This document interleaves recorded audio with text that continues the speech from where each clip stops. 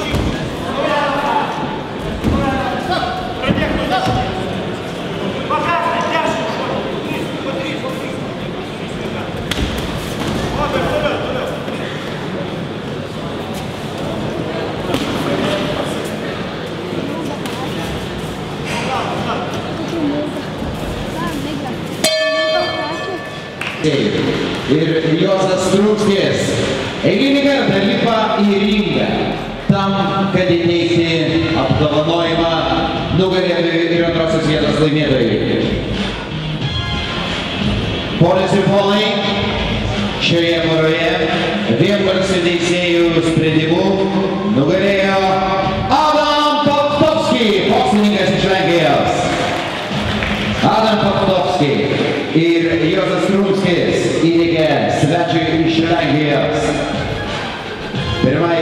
skirtą medalį atminimo taurė. Na ir aišku, Tomui Sinkevičiui taip pat norime įteikti atminimo medalį už tai, kad jis buvo pavaryje ir kovojo, stengiasi. Na, bendras mačo rezultatas tapo 3-5, bet, mėly bičiuliai, paplokite